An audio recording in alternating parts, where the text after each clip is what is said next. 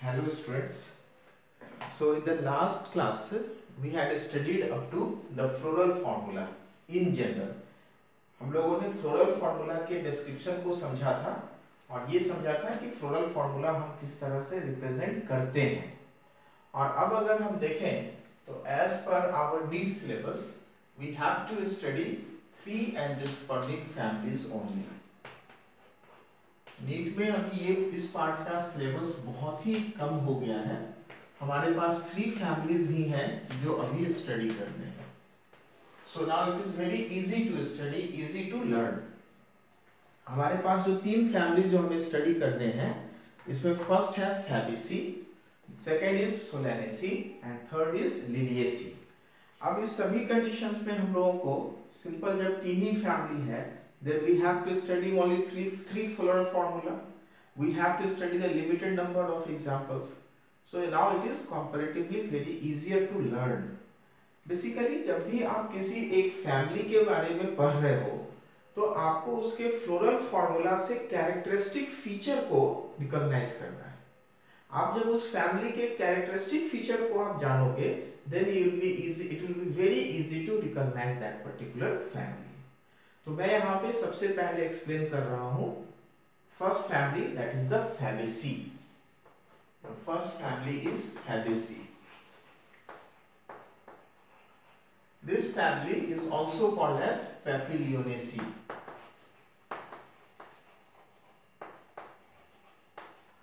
देखिए, इस फैमिली को रिप्रेजेंट करना है तो सबसे पहले हम लोगों को इसके फ्लोरल फॉर्मूला को समझना चाहिए।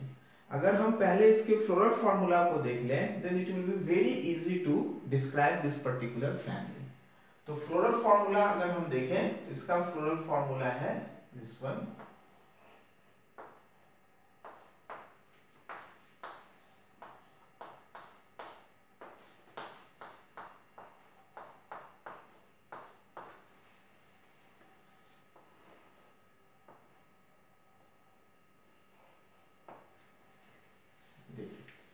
तो इस पूरे रिप्रेजेंटेशन में अगर हम देखें तो यहाँ पर इस फ्लोरल फॉर्मूला के फ़र्स्ट पार्ट से आप देखो तो यहाँ से हम लोग क्या कह सकते हैं कि it is found to be zygomorphic अभी हम लोगों ने लास्ट क्लास में ये समझा था कि जाइगोमॉर्फिक मतलब बाइलैटरली सिमेट्रिकल उसको हम रिप्रेजेंट करते हैं इस नोटेशन से। जो सेकेंड इसका नोटेशन है, ये रिप्रेजेंट कर रहा है यहाँ पर it is found to be bisexual. तो फ़र्स्ट पॉइंट हो गया the flowers are zygomorphic second point है इट इज़ बाइसेक्सुअल थर्ड अगर हम देखें यहाँ पर कैलिक्स के बारे में तो this calyx is having five sepal and it is under bracket means what it is gamosepalous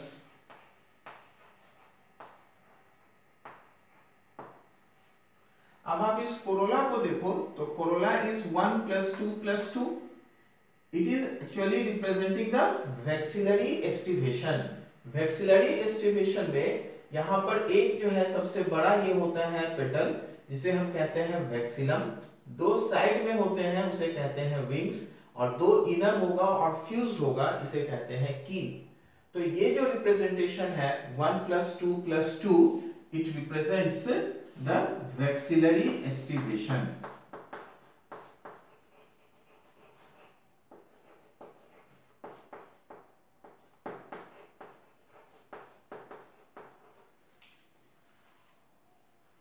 next हम लोग देखें, यहाँ पर एंड्रोसियम छूटा है एंड्रोसियम इस एंड्रोसियम के बारे में अगर हम देखें तो इट इज़ और you can also write it like one plus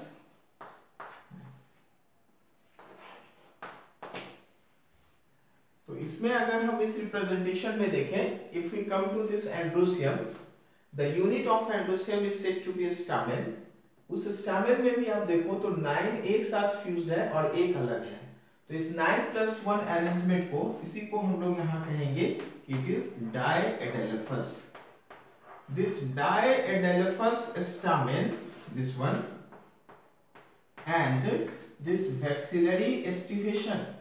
These two are the characteristic feature of the family fabaceae fabaceae को अगर पहचान करना है तो हमें इसी दो फीचर पे पहचान करना होगा।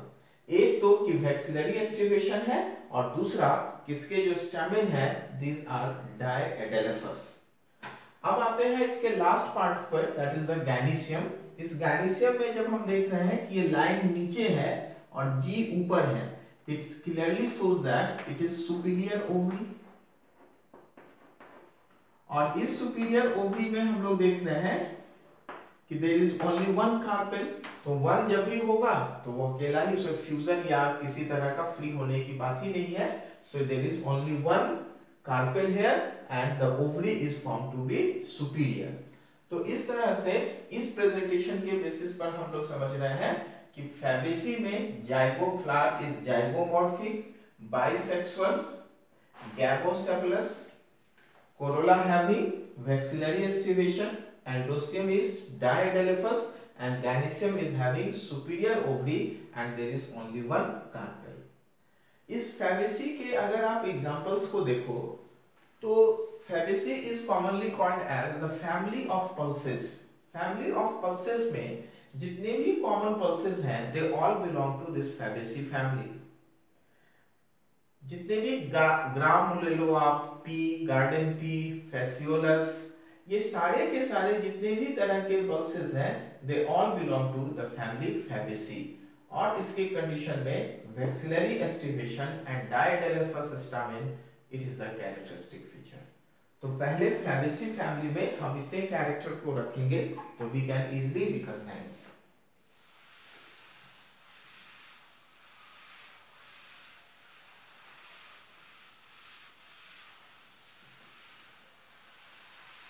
Now we come to the second family and the second family is here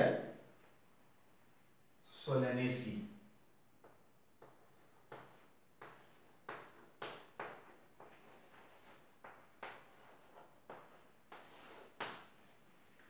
देखो, सोलेनेसी को हम लोग कॉमनली कहते हैं पोटैटो फैमिली इस पोटैटो फैमिली को अगर हम देखें, इसको अगर रिप्रेजेंट करना हो तो सबसे पहले हम लोग इसके सिमेट्री को देखें तो it is like this then it is represented like this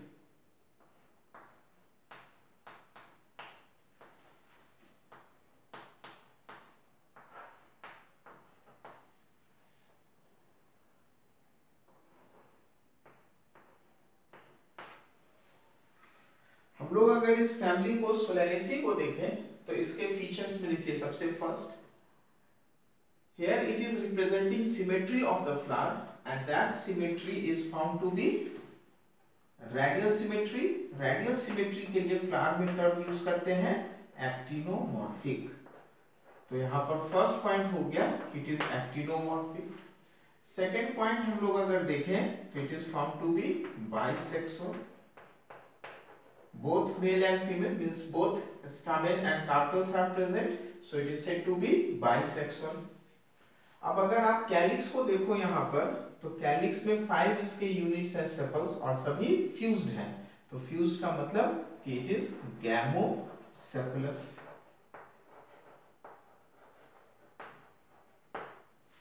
Corolla के बारे में अगर हम देखें तो यहाँ पर कोरोला फाइव यून है एंड ऑल आर फ्यूज्ड तो सबसे पहले ये तो हम कहेंगे ही कि it is gamopetalous but more important term is that at the same time we are observing this line what this line is representing ये रिप्रेजेंट करता है यहाँ पर एडहेशन ऑफ़ स्टामिन को। एडहेशन ऑफ़ स्टामिन का मतलब है कि अगर स्टामिन किसी दूसरे होल के साथ फ्यूज्ड हो तो इस फेनोमेना को हम लोग कहते हैं adhesion In this condition, stamen is fused with petal. That is the reason here we use the term epipetalous.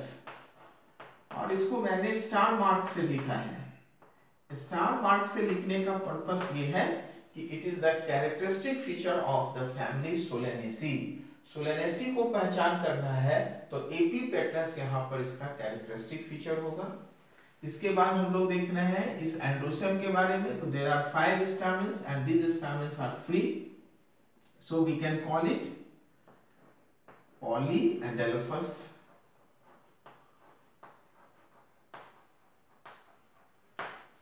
अब इस कैनिसियम को देखो।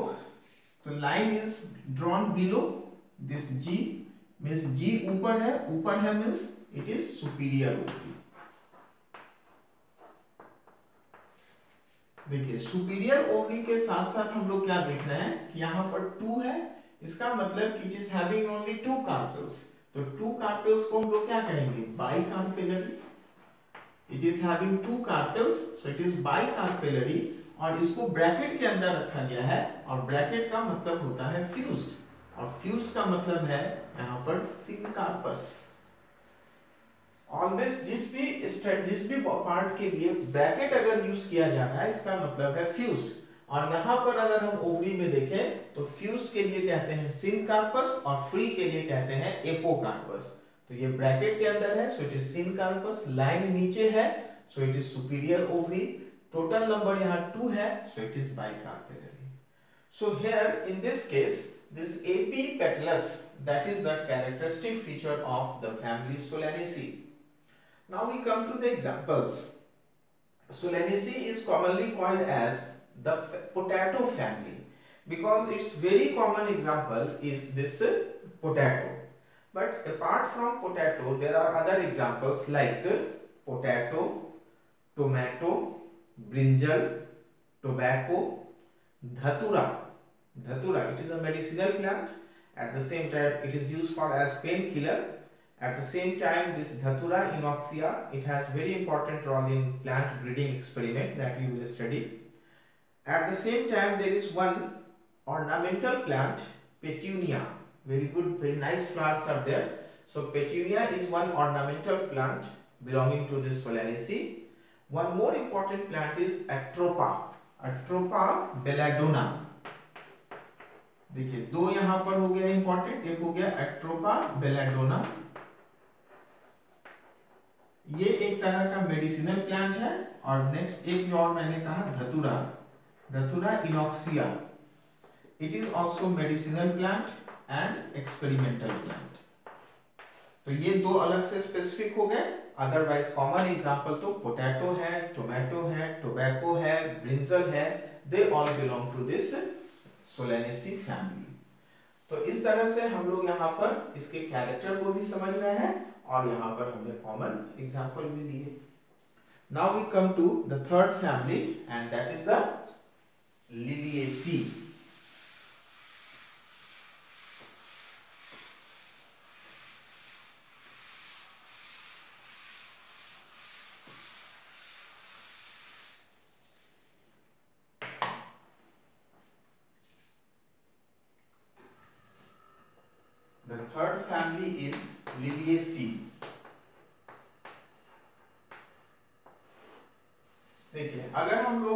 family का अगर हमें रिप्रेजेंट करना है यहाँ पर फ्लोरल फॉर्मूला तो इसके फ्लोरल फॉर्मूला में हमारे पास एक स्पेसिफिक स्ट्रक्चर आएगा। मैं यहाँ पर रिप्रेजेंट कर रहा हूँ। सबसे पहले तो हम लोग देख रहे हैं कि it is found to be actinomorphic फिर हम देख रहे हैं, ये। अब यहाँ पर एक पार्ट आ गया। पी से रिप्रेजेंट कर रहे हैं। इसको मैं एक्सप्लेन कर रहा हूँ।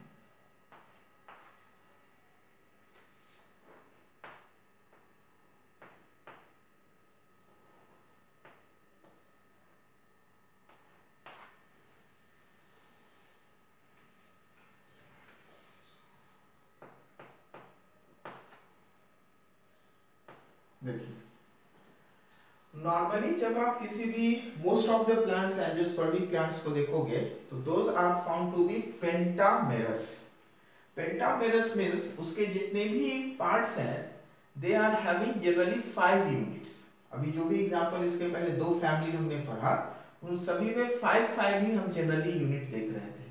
तो अगर फाइव यूनिट्स हो तो इसे हम कहते हैं पेंटामेरस और अगर यहाँ पर डिफरेंट फ्लोरल बोल्स के यूनिट थ्री हो तो इसे हम लोग कहते हैं ट्राइमेरस तो लिलियसी सबसे पहले तो यहाँ पर एक हो गया कि इसके जो फ्लावर्स हैं the flowers are found to be trimerous जो बहुत कम फैमिलीज़ में होते हैं. अब इसके रिप्रेजेंटेशन को अगर हम देखें तो first of all it is actinomorphic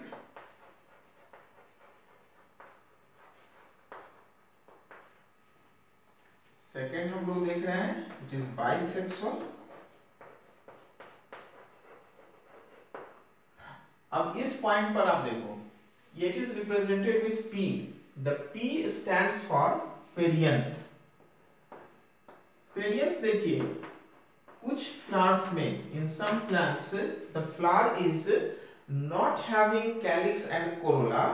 Rather, they are having one common structure called as perianth calyx जो होते हैं it is the green whorl which main function is protection and photosynthesis जबकि हम कोरोला को देखें तो it is generally brightly coloured and its main function is here lipid synthesis which is use as nectar अब perianth एक ऐसा whorl है which is partially calyx and partially corolla तो जो कैलिक्स एंड कोरोला दोनों के कैरेक्टर को represent करे ऐसे पार्ट को होल को हम लोग कहते हैं perianth and its unit is called as tepal इसके यूनिट को हम लोग देखें तो इसे हम लोग कहते हैं यहाँ पर टेपल तो कैलिक्स का सेपल कोरोला का पेटल पेरियंथ का टेपल तो इस केस में हम लोग देख रहे हैं कि ये P इज़ रिप्रेजेंटिंग पेरियंथ और इसमें in many of the flowers there is 3 plus 3 means तीन तीन के दो होल हैं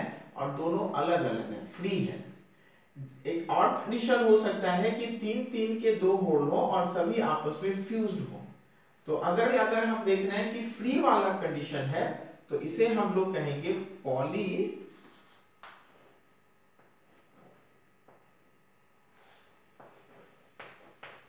polytepalus or it is also called as polyphylus both terms are applicable. आप इसे polytepalus या polyphylus कह सकते हो। जब ये फ्यूज्ड हो गया है तो इसे हम लोग कह सकते हैं गैमोटेपलस या हम लोग इसी को कह सकते हैं और gamophyllous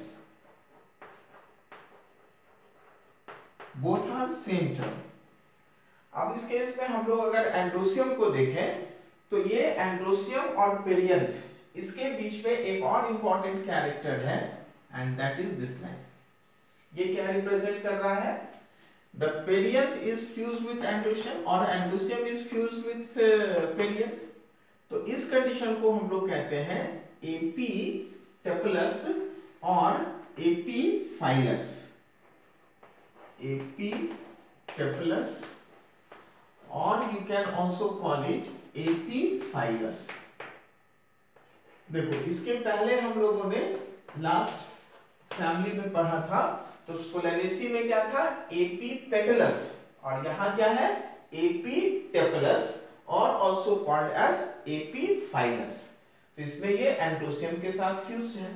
अब अगर हम इस एंड्रोसियम के केस में देखें तो ये fuse condition fuse condition show कर रहा है and it is in two different whorl जब भी ये यहाँ दो होल में है तो इसके लिए कहते हैं डाइडाइनेमस और इस केस में ये यहाँ पर फ्यूज्ड है तो इसीलिए हम लोग इसे कह सकते हैं synandrous sin means fused andrus term is here used for stamen androsium के यूनिट और वो आपस में फ्यूज है। उसी तरह से अब अगर आप इस गैनीशियम के बारे में देखो तो पहले तो लाइन के ऊपर है, इसका मतलब इट इज़ सुपीरियर अगर ये सुपीरियर हो तो इसके फ्लावर को हम लोग क्या कहते हैं? Hypogynous flower flower will be called as hypogynous and here this ovary is called as superior superior मतलब ये ऊपर.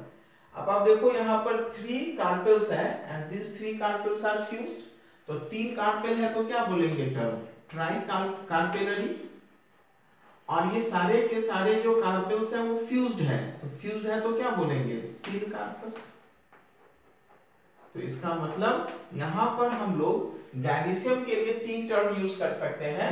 Superior ovary tricarpellary and syncarpous और ऐसे फ्लावर को हम लोग कह देंगे it is hypogynous hypo to gyny means other floral folds are present below ovary, so it is called as hypogynous so it is the representation. अब आप देखो यहाँ पर, इसके कैरेक्टरिस्टिक फीचर क्या क्या है?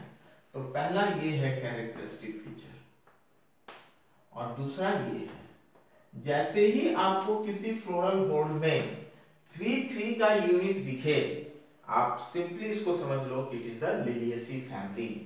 Second आपको यहाँ पर इंपॉर्टेंट फीचर दिखेगा। पेरियंथ एंड एंड्रोसियम एक दूसरे के साथ फ्यूजन शो कर रहे हैं। एपी टेप्लस और एपी फाइलस कंडीशन यहाँ पर है।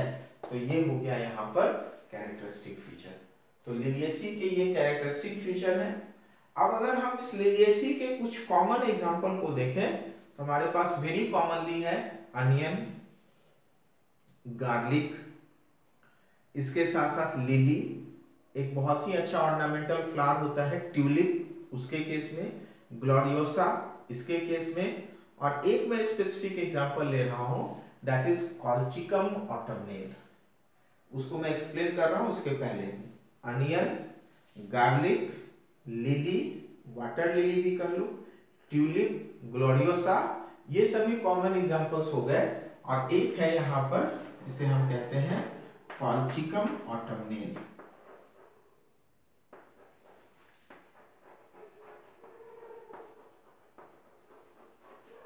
देखिए, ये कॉल्चिकम ऑटमनेल जो है, इसी प्लांट के बार्क से, इसके बार्क से हम लोग ऑप्टेन करते हैं कॉल्चिसीन और इस कॉल्चिसीन का यूज़ किया जाता है इन पॉलीप्लॉइडी जो हम लोग आगे पढ़ने वाले हैं पॉलीप्लॉइडी और इस कॉल्चिसिन के लिए एक और टर्म हम यूज़ करते हैं।